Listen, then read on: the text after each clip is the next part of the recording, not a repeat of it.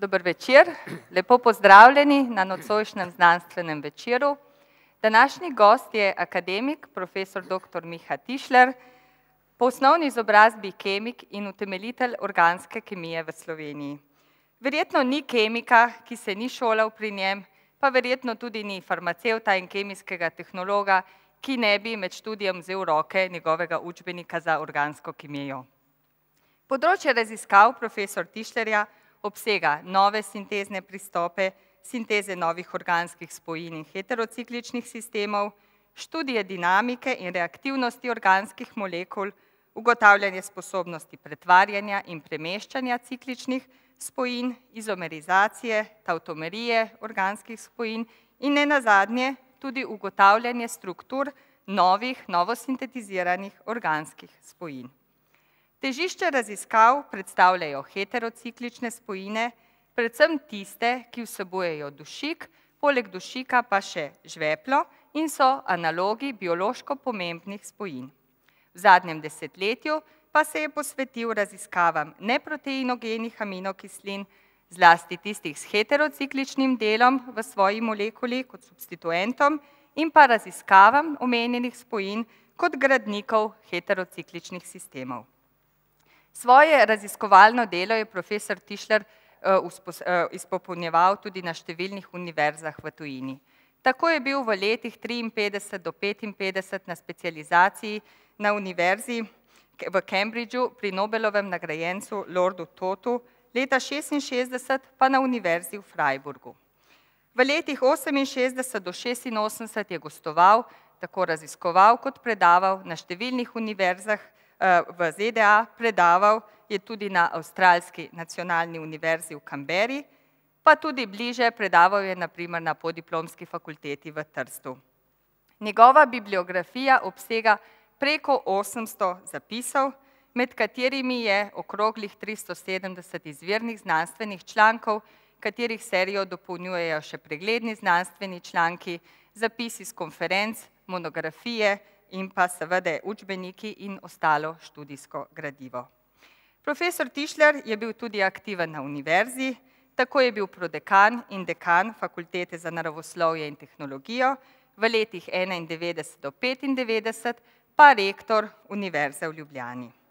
Marca leta sedeminsedemdeset je postal redni član Slovenske akademije znanosti in umetnosti, je pa član tudi nekaterih drugih akademij, naj omenim zgolj Evropsko akademijo znanosti in umetnosti v Salzburgu. Je prejemnik številnih nagrad, na primer nagrade sklada Borisa Kidriča, ki jo je prejel leta dvainšestdeset, pa sedeminsedemdeset Kidričevo nagrado, pa enainosemdesetega leta nagrado za izboljšave in izume.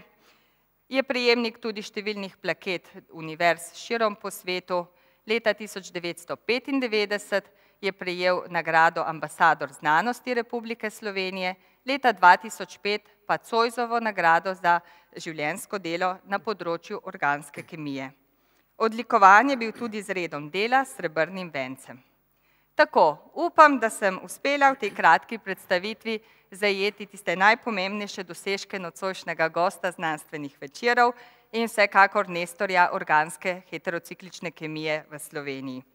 V okviru nocojšnjega predavanja, ki mu bomo seveda z veseljem prisluhnili, nam bo predstavil, kako poteka načrtovanje organskih sintez. Prosim, profesor Tišler.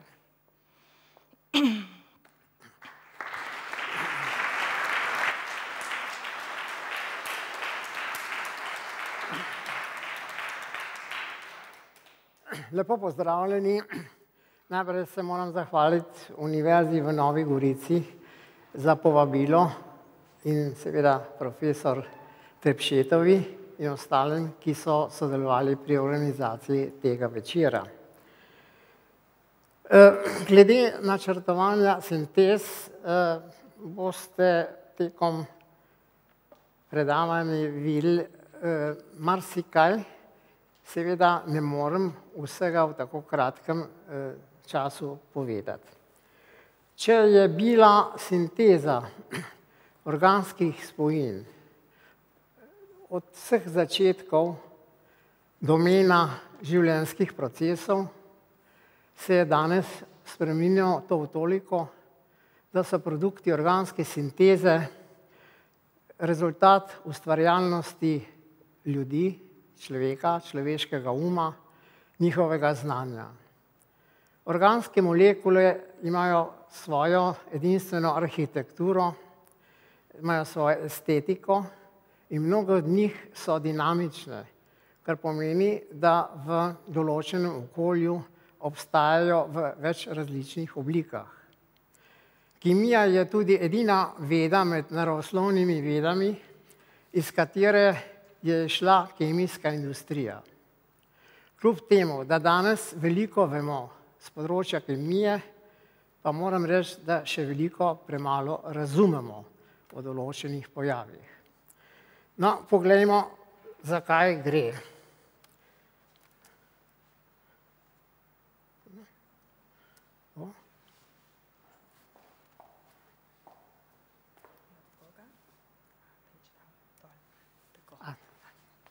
Hvala. Ja. Poglejte, teoretično lahko razdelimo v različne skupine pristope v organskih sintezah in sicer, da gre za linearno gradno, postopno gradno neke velike molekule.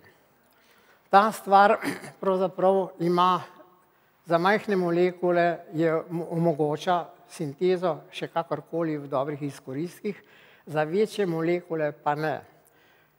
Je problem pri tem, ker čim daljša je molekula, tem večji problem je potem odstraniti primesi. In če vzamemo recimo dvajsetstopenjsko sintezo, kar ni nobena nenavadnost pri naravnih spojinah, in če je v vsaki stopnji samo petdeset procentov izkoristek, in če izhajamo iz ene tone, iz tisoč kilogramov izhodne spojine, bomo v dvajseti stopnji dobili samo nič celih devet grama. Zato se raje izognemo temu in delamo na druge načine. Je pa sinteza še vedno uporabljiva kakor toliko za sintezo beljakovin. Danes imate avtomatične načine, avtomatične aparature, ki gradijo beljakovine postopoma eno aminokislino za drugo. In tam je seveda samo problem odstranitev nečistoč in to se da več ali manj dobro uporabiti za recimo nekaj sto aminokislin, če se jih naniza. V glavnem za druge stvari, razen če ni to manjša molekula, to ne pride v poštev. Konvergentna sinteza je veliko boljša. To se pravi, gradimo manjše delne molekule in potem imamo več takih delov in jih sestavimo. Torej sestavimo recimo napravimo nekaj korakov v eni smeri, nato in drugi, potem pa te produkte tega in tega združimo v tretjega. Ali pa lahko tudi večje molekule. No, ta stvar je prednostna v tem smislu, kadar gre za uvajanje keralnega dela v molekule. Kadar imamo stereogene centre, takrat je to zelo težko, če imamo veliko molekul in številne reakcije, obdržati. Kajti ti centri so izredno občutljivi za kemijske spremembe. Zato ponavadi v zadnji stopnji tukaj recimo priključimo tak del, ki je najbolj občutljiv. Divergentne sinteze so stvar novejšega datuma. Imenujejo se tudi paralelne sinteze. To v glavnem dela farmacevtska industrija, ki napravi na leto tudi do sto tisoč novih kemičnih spojin. In sicer zelo podobne molekule, ki so se malo razlikujejo, ene vrste in druge vrste, pripravijo, zamenjajo neko skupino, novo uvedejo, potem pa vsako z vsakim pustijo reagirati, recimo A ena z B ena in tako naprej. In recimo, če imate reaktor, ki je deset krat deset majhnih posod, kjer to reagira, imate v trenutku sto produktov v določenem času. Se pravi za, to je v glavnem za proizvodno analognih substanc, eh, ki se jih poslužuje predvsem, kot sem rekel, farmacijska industrija. No, retrosinteza je stvar uh, nekako 40-45 let, ker je prišla v življenje in sicer je to pa miselna pot. Bom pokazal tudi potem en primer, ko neko veliko molekulo skušamo razdeliti na manjše dele. In sicer gledamo, kje so možne prekinitve, da spravimo potem na čim manjše dele in potem poskušamo po poti jeti spet do sinteze. Seveda, to je samo sematični del. Da pa lahko neko stvar izvedemo, je treba pa še veliko vedeti. Treba vedeti, recimo, kakšni so reagenti, katere skupine je treba zaščititi, katere so občutljive, kakšni so reakcijski mehanizmi. Skratka, veliko znanja iz organske kemije. Poleg tega je pa, kot je povedal Sidney Brenner, za napredek splošno znanosti, pa seveda v kemiji, tudi zelo pomembno, kaj imamo, kaj lahko se poslužimo, da pridemo do določenih rezultatov. Predvsem se mi zdi pomembno njegova beseda, da je da napredek v znanosti zavisi od novih metod. Tukaj mišljam jaz predvsem instrumentalne metode. Instrumentalne metode so veliko pripomogle, da kemiki lahko danes vidimo marsikaj, da vidimo atome, če hočete, in da zasledujemo spremembe tudi v času femtosekund, to je 10 na minus 12 sekund. No, kako je pomembno to stvar, bom pokazal na enem mojem primeru. Zelo enostaven sistem. Leta 1959 sem s premestitvijo iz štirčlenskega obroča prišel do teh lepodobnih spojin in objavil v uglednem angliškem časopisu, na kar seveda je bilo vprašanje, preden sem to objavil, katera od teh struktur je prevladujoča ali je dvojna vez tukaj, ali je v obroču, ali je vodik tukaj, ali pa v obroču.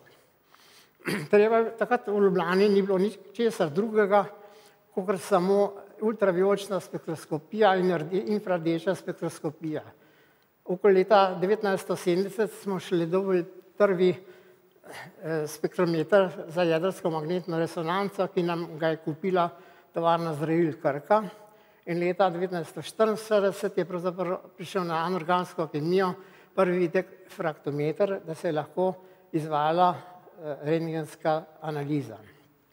No, meni takrat seveda ni preostalo drugega, kot da sem pripravil eh, spojine, ker, sem, ker ni bilo več tega dušika, tako ali tukaj, da sem ga zamenjal z določenimi skupinami.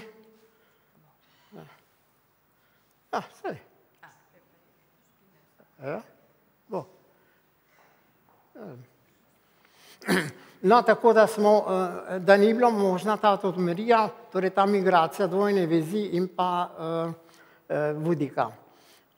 Čez nekaj let so se oglasili francozi in so rekli, da to ni res, da ni struktura A, katero sem predlagal, ampak struktura B, ne da bi imeli za to kakšne dokaze, Čez 12 let so prišli Amerikanci z jedrsko magnetno resonanco in mi dali prav.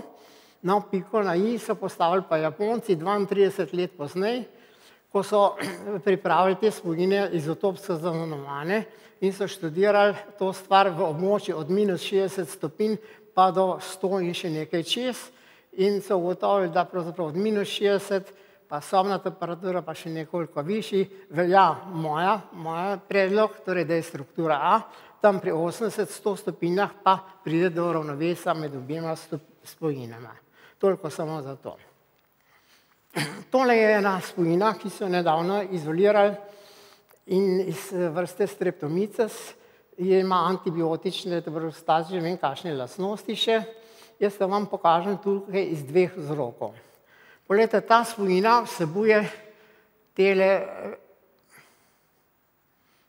ja, dela, tele, tukaj tale obroč, pa tale obroč, tale obroč, pa še ene, tri obroči, so tako zvani piridazinski sistem.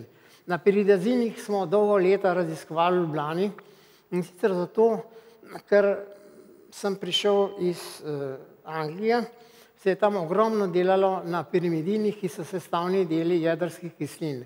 Te, zanima me, za ta sistem pa praktično ni bilo. Zakaj?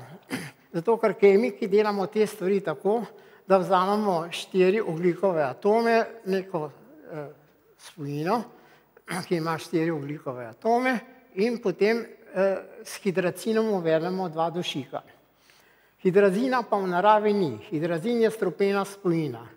In potem, ko so prvič šele leta 1971 oziroma 70 odkrili prvo vrsto teh spojin, je postavilo se vprašanje, kako pa narava uvede dva dušika skupaj.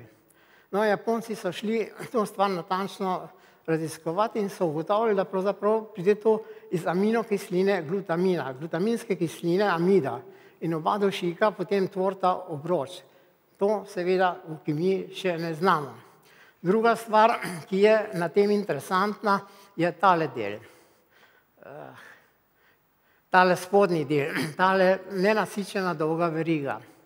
Kot vidite, je to aminometil nonadienska kislina, ki je dvojne vezima in je v bistvu neproteinogena aminokislina. To se pravi, ta eh, streptomites ugradi v molekulo to neproteinogeno aminokislino. No, ker bom govoril o teh več, pa pogledamo, kaj so pravzaprav to za nekisline. Kot veste, je 20 aminokislin naravnih, proteinogenih, kot temu pravimo, ki jih kodira genetski kod, ustvarja polimere, beljakovine, eh, molekule pomembne za življenje. V naravi pa so izolirali več kot tisoč aminokislin, ki pa niso kodirane v genetskem kodu, ampak imajo pravzaprav neko vlogo mogoče največ iz, iz okoljskega vidika. Če so vse naravne, tudi te so naravne aminokisline. Sam proteine, proteinogene so vse alfa in z L konfiguracijo. Medtem ko so te neproteinogene velika večina za obratno, za dekonfiguracijo. In ne nastanejo direktno, ampak po tako zvanih posttranslacijskih spremembah. Tukaj sem navedel samo tri enostavne primere. Mimozin so izolirali najprej iz stročnic, potem pa še iz mimoze. Mimoza poznate, grmiček, ki raste. In mimozin je pravzaprav spojina, ki je obramna spojina v mimozi, zato da jo uh, ovce, koze ne pojedo. Namreč uh, povzroča težave, uh, če, ker v organizmu se odcepi tale del in tale peridezinski del je pravzaprav tisti, ki je stropen.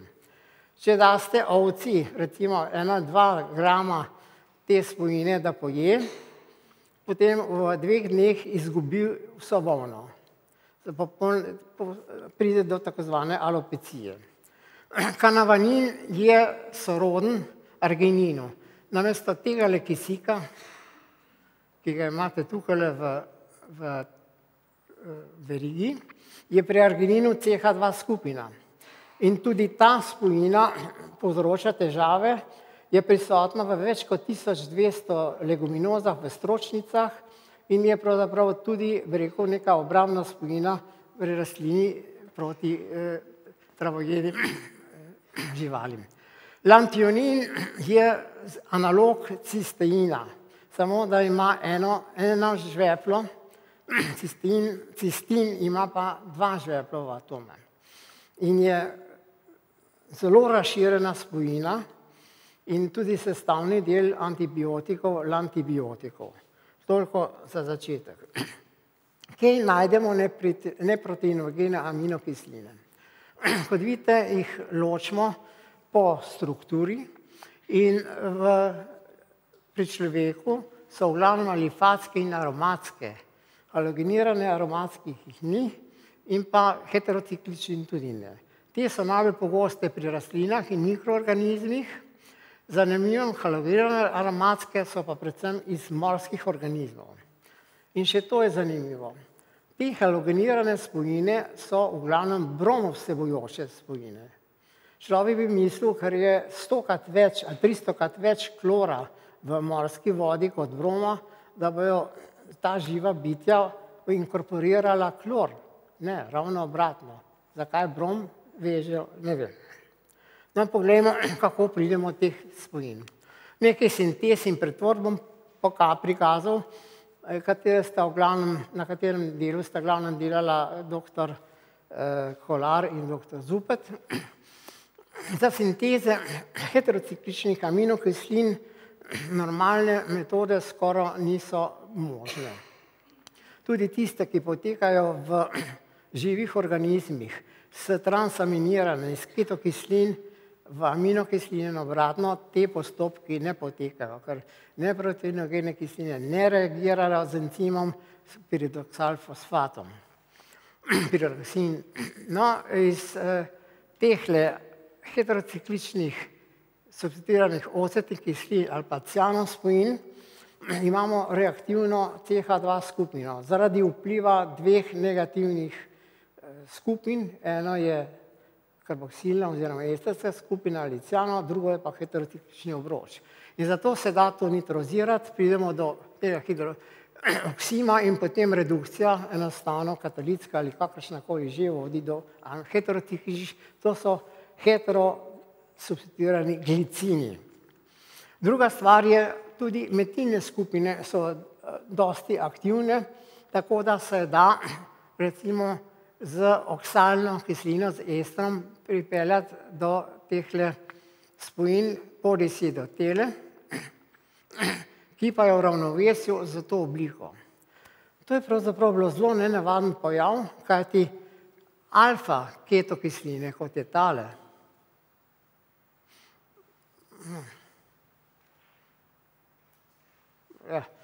je v ravnovesju z nenasičeno, in alfa-ketokisline niso ponavadi enolizirane. In to je bil tudi prvi primer, da smo prišli do teh nenasičenih aminokislin, eh, do hidroksi najprej in potem z amonformiatom v nenasičene aminokisline, ki tudi niso bile znane. V drugi strani pa lahko podaljšamo to verigo v ta način, da spet uvedemo tole hidroksinsko skupino in redukcijo dobimo hetero analoge alanina, fenil, eh, torej eh, aminokislina alanina. Druga metoda je tudi, da gremo iz alehidov, ki pa so veliko manj dostopni v heterociklični vrsti, potem vežemo z reaktivno metilensko skupino in potem eh, odpremo hidrolizo obroč in potem spet reduciramo. No, če vzamemo zdaj recimo en takle primer nekega estra. Vemo, da so alifatski estri aminokislin zelo reaktivni in so edino obstojni v obliki hidroklorirov ali soli. Prosti estri dimerizirajo in tvorijo eh, tako zvane dikitopiramzine, ko se dve molekuli skupaj združita v heterociklični sistem. Poglejte, tukaj imamo zdaj tri potencijalne, eh, tri potencijalna mesta, ki sem jih označil številkami in lahko reagirajo ali eh, aminska skupina, dušikov atom v obroču ali esterska skupina in tukaj je nekaj sistemov, o katerih bom še govoril, do katerih smo lahko prišli. 37 različnih sistemov smo iz recimo takih in podobnih eh, estroaminokislin eh, sintetizirali. Tukaj je problem iz acetilirane hidroksifumarne kisline, ki daje z nekim heterocikličnim aminom takele produkte. To, kar sem črtkano označil, pomeni, če bi imeli nalogo, da to spojino sintetizirate, je to retrosintezni pristop, ki kaže, kje bi prekinil vezi in iz, katerega, iz katerih eh, izhodnih snovi bi to spojino sintetizirali. To se pravi, v tem primeru bi šli iz amino pinidina in tega reagenta, v tem primeru pa iz amino izoksazola. Podobno je tudi v tem primeru.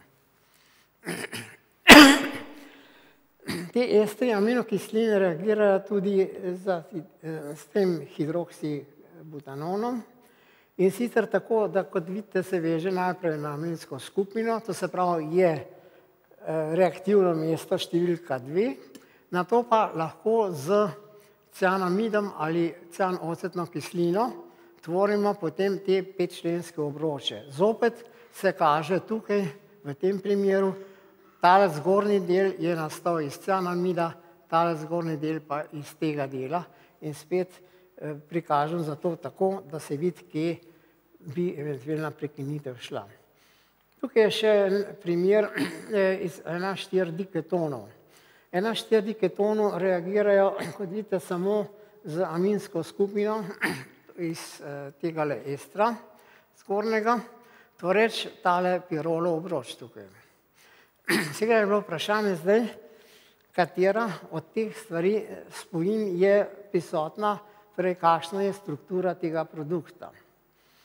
Analiza je pokazala, predvsem spektroskopija, da zadnja molekula ni prisotna, pač pa imamo ravnovesje, ravnotežje med prvima dvema, kjer prevladuje prva struktura A. Zakaj?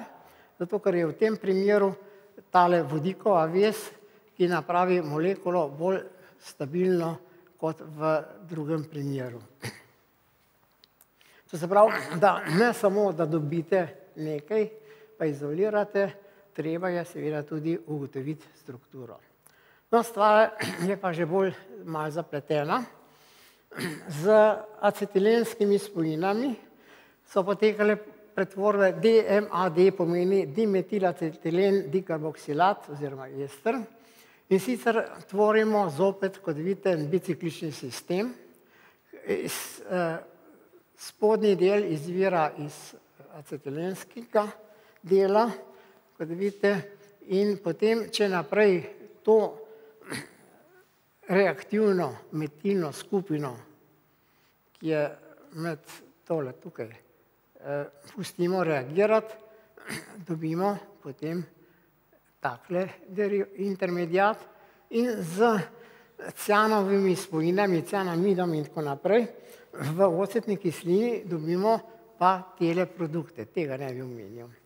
Zdaj pa seveda vprašanje, zakaj in na kakšen način je prišlo pravzaprav iz dveh šestčlenskih obročev v sredi do šest- in petčlenskega obroča. Torej to je pa spet treba, to je pa spet treba nekoliko razložiti, kako kar naenkrat iz tegale dela pridete v takle del. No, to je pa stvar potem miselne poti in je to.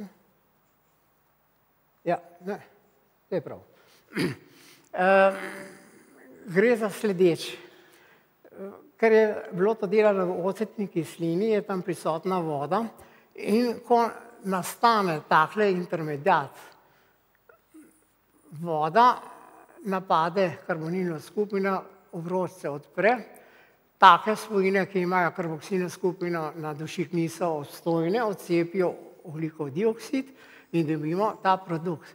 To je samo napisano v drugi obliki in s tem, da je tudi ta H šel na tale kisikov atom. Torej to je treba tudi potem znati včasih razložiti, zakaj nekaj nastane. Če pa se dela stvari v večjem delu, recimo ali polindustrijsko in tako naprej, se pa zmeraj postavlja vprašanje o ceni reagenta, o ceni postopka, energije, o odpadnih produktih in tako naprej. O izkoristkih pa seveda v prvi vrsti. No, tukaj prikazujem primer reagentov, ki vsi dajejo en ogljikov atom v molekulo, kot vidite intermediat, ki se ga ne izolira, tale C se potem priveže na ta dušikov atom. Tukaj so trije različni reagenti. in tudi različni izkoristki. Razlika med tema dvema, recimo, je v ceni desetkratna. Ta je približno polovica vsega tega najdražjega. No, izkoristek je seveda najboljši po tej poti, 87 procentov. Po tej poti okoli 77 procentov in po tej poti okoli nekaj čez 30 procentov. Zapravo, v takem primeru se treba odločiti, kaj bomo delali, kaj pa so stranski produkti. V tem primeru odpade je metanol pa dimetilamin, ki ni ravno neka benigna substanca. V tem primeru imamo ocetno kislino in pa etanol. V tem primeru pa samo etanol. To sem zato pokazal, ne, da je tudi treba včasih gledati v kemiji na eh, produkte, na ceno, kadar gre delati nekaj v industriji in tako naprej. No, tale pregovor oziroma to reklo, Nobelova nagrajenca Žan Marija Lena mi je zelo všeč, ker enostavno pokaže tisto, kar pravzaprav vemo, da je kemija danes vgrajena vse vidike našega življenja. Pa vzemite katero koli praktično vedo, vedno boste nekaj kemije našli notri. In seveda zato je pa tudi število kemikalij kemičnih spojin ogromno. Kemičnih bazah podatkov CIS pomeni Chemical Abstract Service, je trenutno registriranih 33, približno 33 milijonov anorganskih in organskih spojin. To je ogromna številka. Vsako leto se sintetizira eh, čez milijon novih organskih spojin. Rekel sem, industrija meni grede 100 tisoč. Kam to pelje? To je vsako leto je porast čez 5% in okoli 12-13 letih se ta številka lahko podvoji. No, vse te sinteze so usmerjene v iskanje nekih koristnih produktov, ki ne bi bili za različne namene, bodi si v agrikulturi, v zdravstvu ali kakorkoli. No, če tudi pogledate, koliko kemikalij v uporabi, to so v prodaji in kakorkoli, je ogromno število. In to, za to število marski, marsikaj ne vemo, kako učinkujejo na živa bitja. Teh testov ni. Res, da so marsikatere spojine sintetizirane v majhnih količinah, ampak kemiki, ko sintetizirajo marsikatero čistilno, ker se očisti, spustijo lepo v kanal in gre potem v reke pri vas ne vem, a gre v Vipavo ali gre v Sočo in pravzaprav ne vemo, kakšen je učinek vsega tega. No, sedaj je Evropska unija zahteva vsako novo kemikalijo, ki se izdeluje v količinah do 10 kg ali pa več, da se bo testirala na morebitne škodljive vplive in ta agencija, ki bo to delala, je v Helsinkih in zakon velja pač od junija letošnjega leta. Druga podatkovna baza je za organske spojine je Balštan, kjer imate tudi ogromno število, kot vidite, registriranih, popisanih organskih spojin, reakcij in pa eksperimentalnih podatkov. STN je baza podatkov, ki ima tri centre v Ameriki, na Japonskem in v Nemčiji. In če imate denar in plačete, vam iščejo vse, tako da včasih dobite še več, kot je treba. No, za konc bi pokazal pa to, kam pravzaprav je kemija danes prišla. To spojino so nedavno izolirali iz eh, morskih enoceličnih dinoflegalatov. In sicer iz štirih ton morskih jegulj, moren, so dobili Eh, nič 35 mg tele spojine, povsem očiščeno in tako naprej. In ugotovili so tudi strukturo iz nič 35 mg spojine.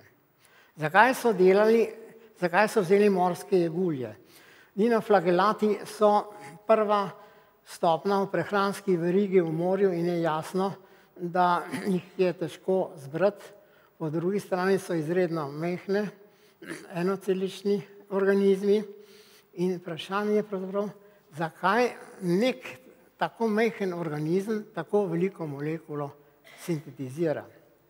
Če pogledamo, kaj je tukaj glavno.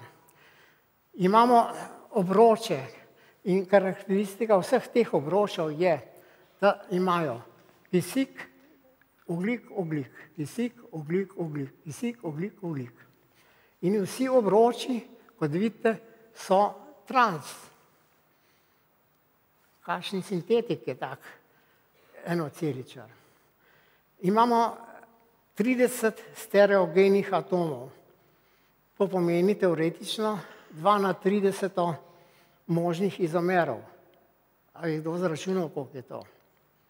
To je ena milijarda 73 milijonov pa še nekaj možnih izomerov. Ampak ta, to živo bitje sintetizira samo eno od teh. No in da ni samo šlo za uh, sintezo, te, za, za ugotovitev strukture te spojine, šlo je tudi za sintezo. Kemiki so delali na tem 12 let, skupina, velika skupina in so sintetizirali to spojino. To se pravi, ali so še danes ovire, da lahko nekaj sintetiziramo. Jaz mislim, da je kemija toliko napredovala, da lahko sintetiziramo vse, je pa vprašanje samo časa in pa denarja. Ta spojina, še to bi omenil, je izredno strupena in seveda molekulska masa je 1111. Kaj to pomeni? Osnovne presnovnine v človeku, sesalcih in tako naprej, ki se gibljajo v krogu toku, imajo največ molekulsko maso, tam 300 do 400. Seveda so polimeri, ugljikovi hidrati, beljakovine in nuklinske kisline, ki so visoko molekularne. Ampak zakaj enocelični organizem rabi tako veliko spojino? A ne bi lahko sintetiziral kaj manjšega, pa imamo še večje. Največja je tudi iz takih enoceličnih, imam eh, 3400 pa še nekaj molekulsko maso. Torej, sinteza, ki jo neko živo bitje napravi, je velik problem še za kemike. Zakaj? Predvsem zaradi stereokemije. No, kemija je danes napredovala v toliko, da lahko v neki meri že posnema naravo, kar zadeva uvajanje eh, točne stereokemije v molekula. Le so pred leti Noblove nagrade ravno za odkritje enantioselektivne sinteze, To se pravi, v bistvu zelo posnemajo, kemiki eh, to, kar delajo encimi v naravi. In sicer so to fosforovi ligandi, kompleksirani z rutenijem ali pa z rodijem. In ti omogočajo, da nastane, da se približa potem reagent samo z ene strani in dobimo samo eno strukturo, čist enantiomer. Ampak še vedno mislim, da je tudi v bodoče še dosti dela na tem področju, da se bo eh, ravno uveljavila taka eh, čista sinteza brez ne vem kakšnih težav in eh, mislim, da tukaj je ogromno dela še na tem področju. Jaz bi s tem končal in se vam zahvalil za vašo pozornost. Upam pa, da bo mogoče tudi kakšno vprašanje iz tega, čeprav ni nujno, da je ravno iz formule. Hvala lepa za pozornost.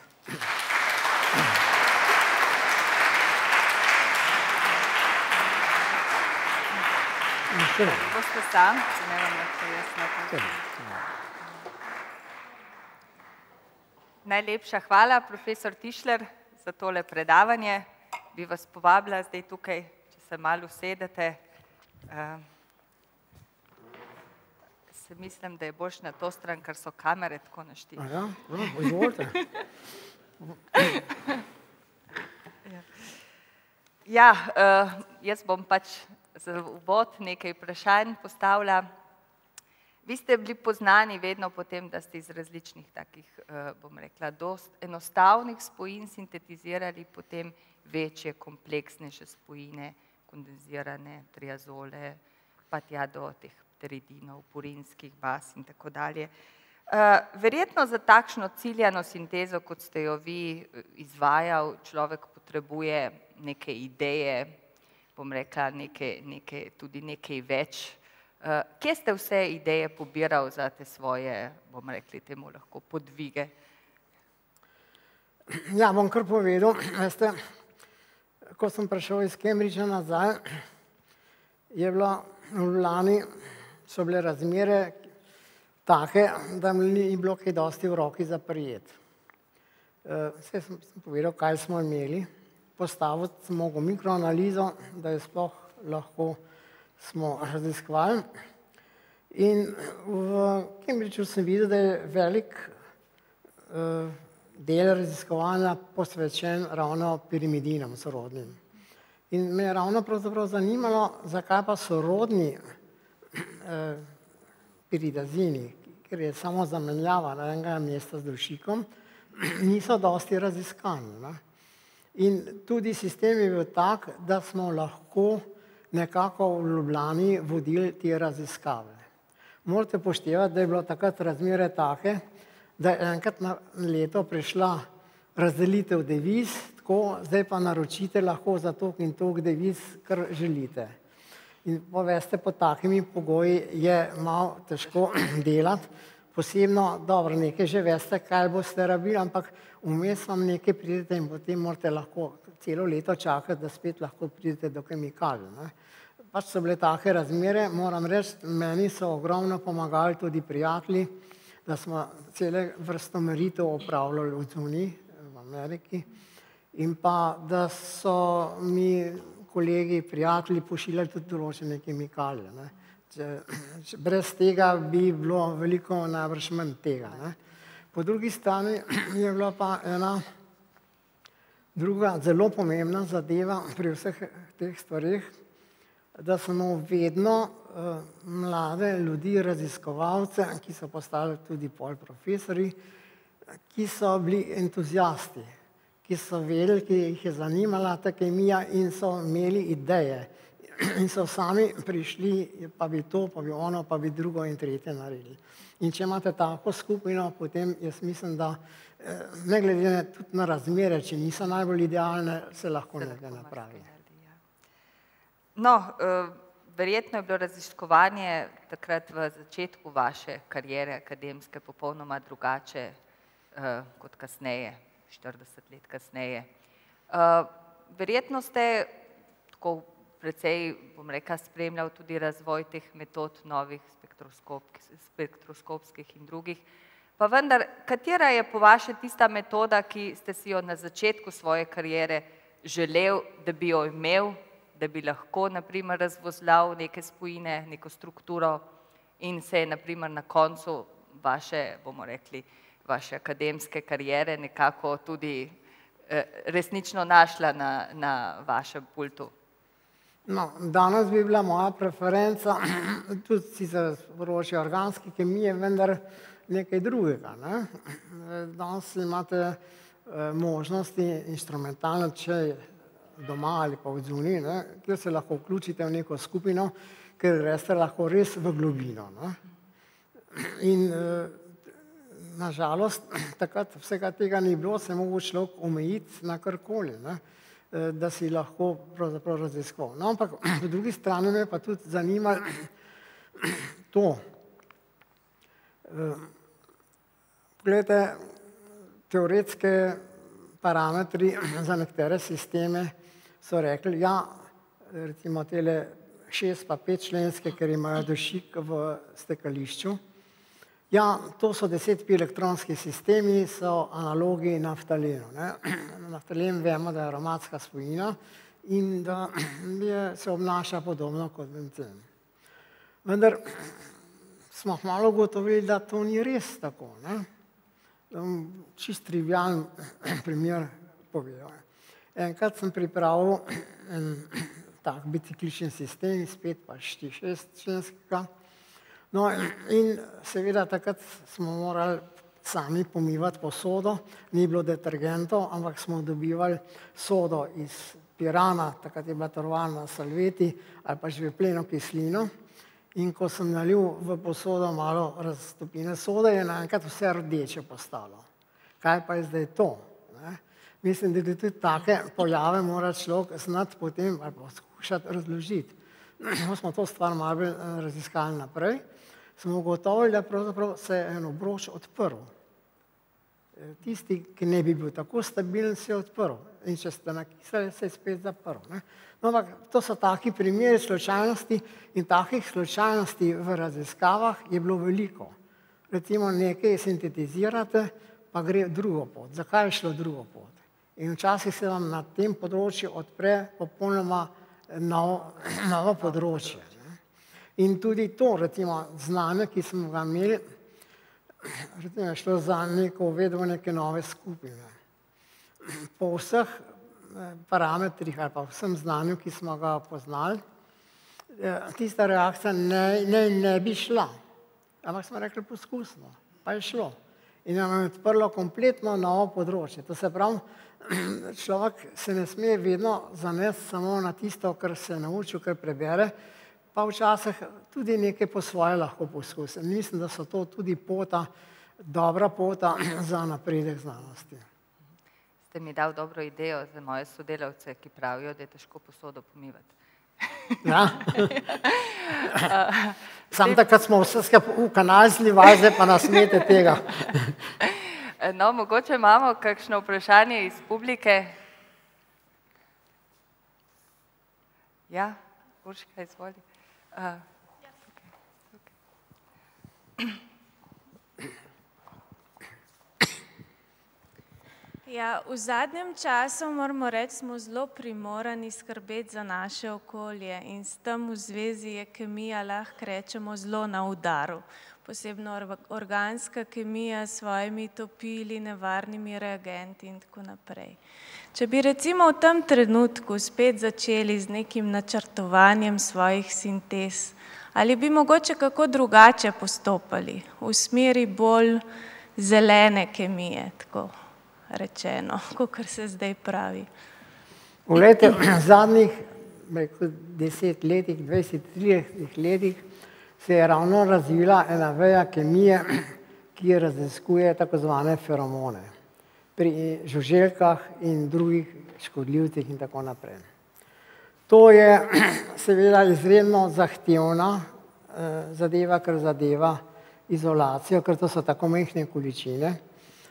In uh, na podlagi tega so že marsikaj izdelali pasti, ker daste v past mehna količina feromona in potem se tok in tolk, tudi do 100 tisoč osebkov se vam zbere v tisti pasti in pravzaprav to je neko neškodljivo uravnavanje v naravi, da pač ne spuščate pesticidov in insekticidov in vsega tega, ki so vlana ali fosforne ali druge spojine v okolje. Poglejte, zakaj je to uh, pomembno? To gre za v bistvu komuniciranje uh, malih živih biti, predvsem žuželk s kemikalijami. Mi se pogovarjamo, se sporazumemo, žuželke se pa samo s kemikalijami. In to je spet vprašanje, v kakšni količini. Poglejte, če imate recimo nekaj nanogramov neke substance. To pomeni deset, ne vem, deseto, dvanajsto, štirinajsto molekul. Neka živo bitje, nek insekt, pa zazna že sto molekul v majhni kuli, recimo kubičnem metru zraka. Ne. Zaprav je izredno razlika med tem, kar človek lahko analizira in tem, kar neko živo bitje zazna, je razlika deset na 11. 12. Ne. In ravno zaradi tega eh, se to proučuje, ker gre za spojine, ki so ali za spolno privabljanje drugega spola, ali za obrambo, ali za zbiranje v skupine in tako naprej. Celo bakterije, nekatere komunicirajo s kemikalijami, kar je pravzaprav nekaj čisto novega. In mislim, ravno na te, na te osnovi se da marsikaj urediti eh, v okolju na manj škodljiv način, kot če uporabljate kemikalije. Hvala. Ja. Je še kakšno vprašanje iz publike? No, če ni, aha, tam zadaj. Ja, takoj, profesor Žek.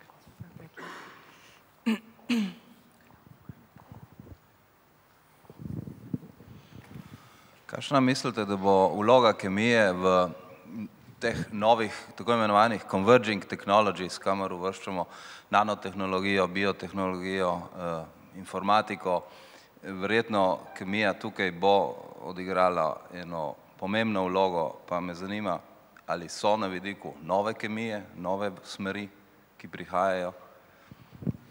No, jaz mislim, kemija je sigurno igrala in bo še igrala pomembno vlogo. Ne?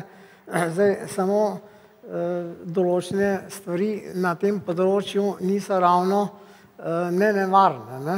Nanodelci, recimo, določeni so škodljivi, čeprav je tega tudi že v zraku, samem v naravi dosti. Ne? Bodi si od avtomobilov, ki jo vozimo, obrabe gum ali recimo vulkanski izbruh in tako naprej. No, ampak mislim, tukaj je bodočnost, kam pelje, ne vem. Ne? Težko rečem, ker na tem področju ne delam. Profesor Žekš, ja. Sam trenutek, trenutek bo prinesla mikrofon.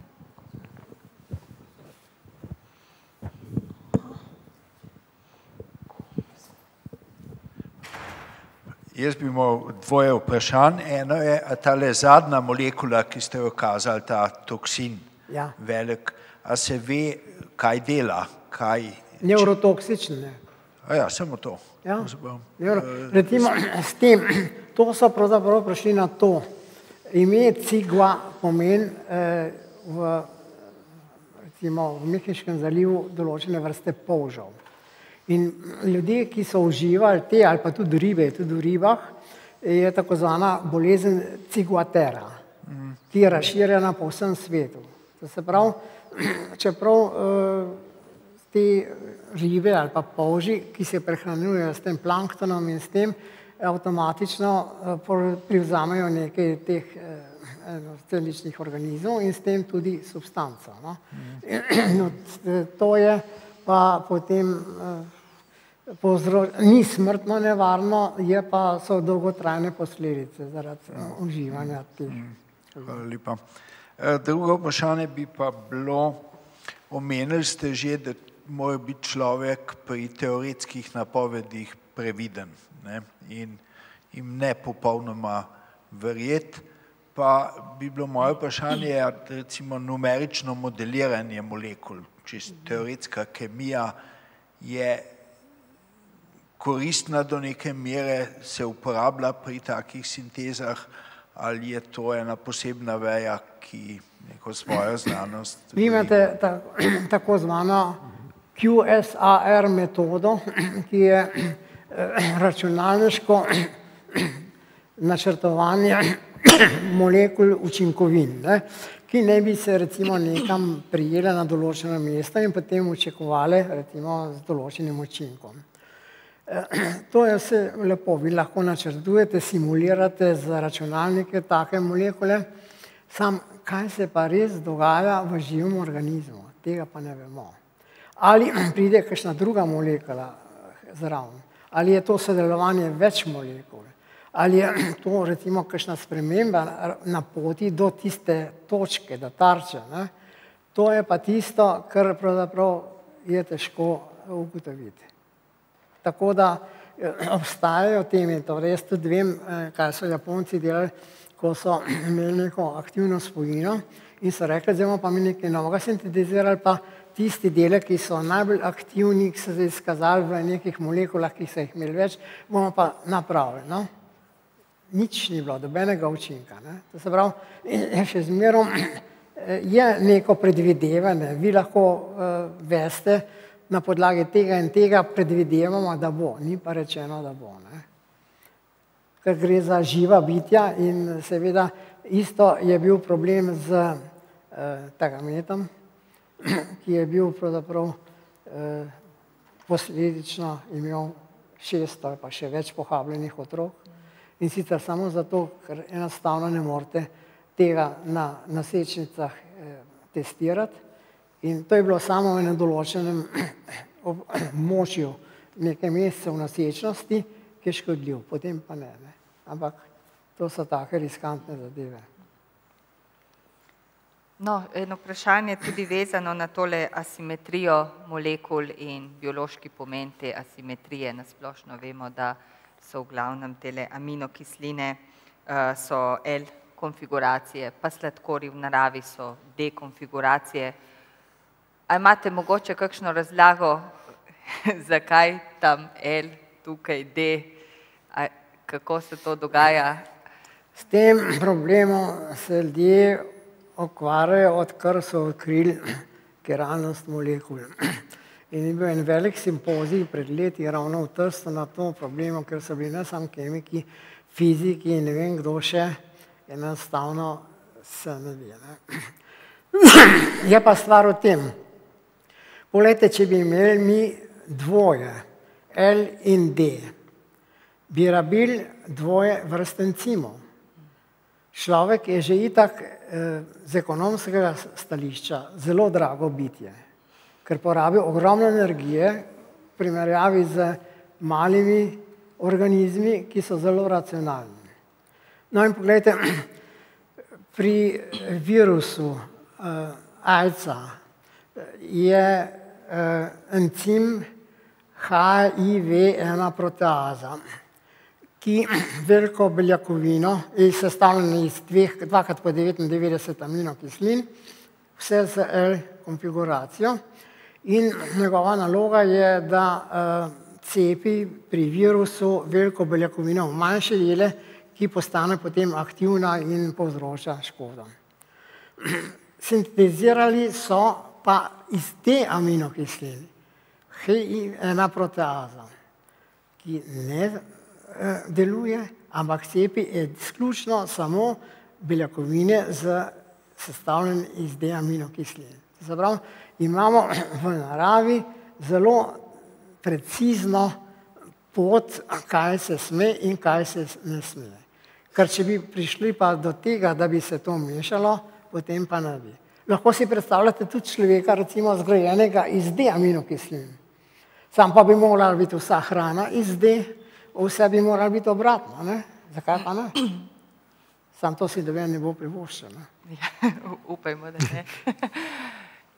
No, imamo še kakšno vprašanje, mogoče? Ja, profesor Kočevar. Je je v škanu? Uh, jaz bi pa navezal eno vprašanje na tekmovanje, na tekmovanje v znanju kemije med naravo in kemiki, pa ne samo slovenskimi. Namreč, če vzamemo za primer bakterije in naprimer antibiotike, vemo, da se bakterije izjemno hitro prilagajajo na nove antibiotike in jih onesposabljajo. Ljudje pa potem zopet radimo kak nov derivat, ki jih zopet določen čas uničuje. Torej, zanima me, kaj mislite o tem tekmovanju med naravo in ljudmi? nima, eh, kemiki nimamo šans, ker pogledajte, ena eh, ešerihija koli se podvoji v pol ure. Zdaj pa lahko zračunate, kako hitro to gre. Je pa nekaj, zdaj so drugi pristopi. Poglejte, prej sem omenil bakterije, ki se sporazumevajo med seboj tudi na kemični način. In to sporazumevanje prične Angliži imenujejo to quorum sensing, ko pride določena koncentracija bakterij na kup, potem se obdajo z polisaharidno plastjo, to so biofilmi, ker so tudi beljakovine in jedrske kisline. In to je pravzaprav njihova tudi zaščita proti antibiotikom. Če zdaj lahko, preden pride do tega, učinkujete z neko uh, kemikalijo, zdravilom ali karkoli, lahko na ta način preprečite. In mislim, to je nova smer, v kateri poskušajo najti recimo učinkovine, ki bi eh, preprečili nastanek takih biofilmov. Recimo to dela eh, tale eh, vibrio kolere, recimo, ne, ta kolero povzročitelj ali pa eh, una eh, pseudomonas aeruginosa in tako naprej. Cel kup teh baterij dela te biofilme in se na ta način zaščiti. No, je še kakšno vprašanje? No, bom še jaz malo vprašala. Eh, no, eh, ko sem gledala vašo bibliografijo, sem tam nekje čist na začetku leta 1953 našla prvih člankov je kvantitativno določanje klora v organskih substancah, potom razkroja s kalijem po mikrometodi, malce kasneje pa sintezni članek, popolnoma sinteza štiri substituiranih semi, tiosemi karbazidov. Vaši začetki segajo tako v organsko sintezo, kot tudi v organsko analizo. Ali je v tistem času mogoče na vas kakorkoli vplival tudi eh, Nobelov nagrajenc Fritz Pregel, glede na to, da vemo, da je se ukvarjal z ja. organsko mikroanalizo in razvojem te metode?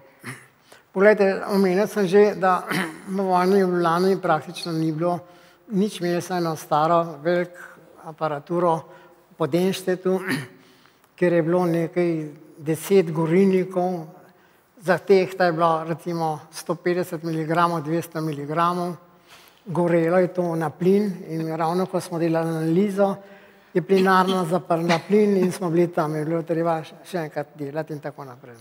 No, profesor Pepper je seveda vedela, ki je bistvo in nas je poslala mene, pa še dva kolega in sva šla v Grac, v pregled laboratorij, kjer smo se naučili mikroanalizo in potem še sami nekaj te prispevali in potem v Ljubljani pa postavili. Seveda je bilo to treba kupiti aparaturo in mikrotehnico in to je bil začetek, da smo sploh lahko začeli delati. No, iz tistega drugega, kar ste omenili, je pa nastala potem, smo uporabili te spojine za sintezo določenih heterocikličnih spojin. Zaprav, to je bilo povezano uh, s tem, da je bilo treba nekaj začeti. Ne? Po drugi strani potem. pa seveda ona je bila edina v začetku, jaz sem bil številka dveh, sem prišel na eh, organsko kemijo in je rekla, no zdaj pa ti pa prevzem to, pa sem moral organsko analizo predavati. Eh, takrat je bila sicer drugačna, kot je danes, no, ampak eh, človek mora vse napraviti, ker je pač treba. Je še kakšno vprašanje, mogoče z publike? Ni?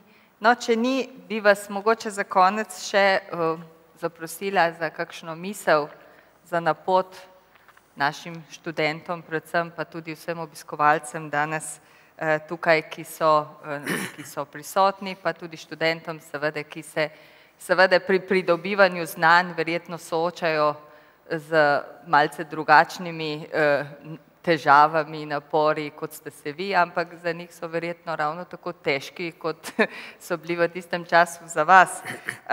Vi ste bi vedno znan po teh poslovenjenih latinskih pregovorih še iz časov, ko sem tudi no, tam bila.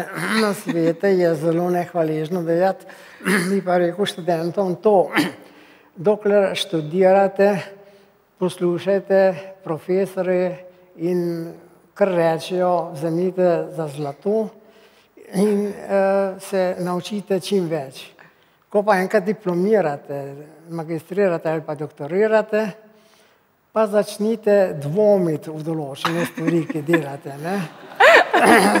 Kajti eh, dvom in pa kritična pesoja so tisto, kar je gibalo našega napredka. Hvala.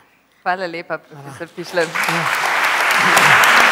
Hvala lepa.